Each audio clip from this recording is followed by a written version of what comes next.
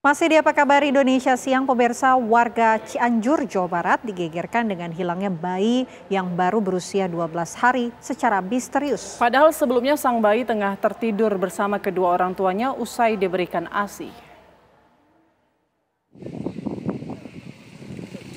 Seorang bayi yang masih berusia 12 hari dilaporkan hilang oleh kedua orang tuanya saat mereka tengah tertidur bersama sang bayi pada hari Minggu dini hari kemarin.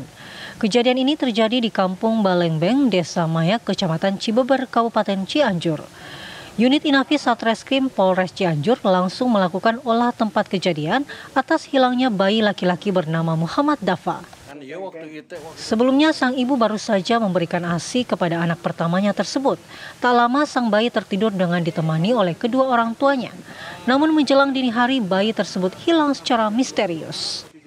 Jam 12 teh udah nenenin teh saya juga ikut tidur lagi gitu ikut tidur lagi di sini e, sambil menghadap ke si dede nah jam 2 ayahnya bangun kebangun mungkin curiga kenapa kasur si dede ditutupin pakai selimut kan e, biasanya juga enggak enggak pernah ditutupin terus dia lihat kaget enggak ada si dede bayinya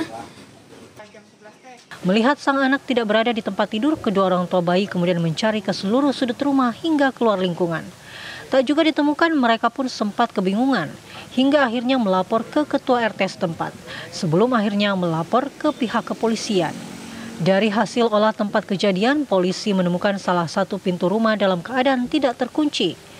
Memang kalau dari TKP itu ada pintu yang memang tidak dikunci. Dan tidak kebiasaan tidak dikunci karena uh, ibu dan sama ininya tinggal sama-sama gitu. Artinya uh, keluar masuk di situ.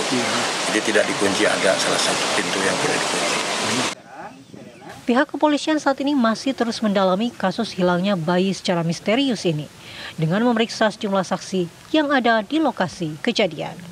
Dari Cianjur, Jawa Barat, Hairun Syah, TV One mengabarkan.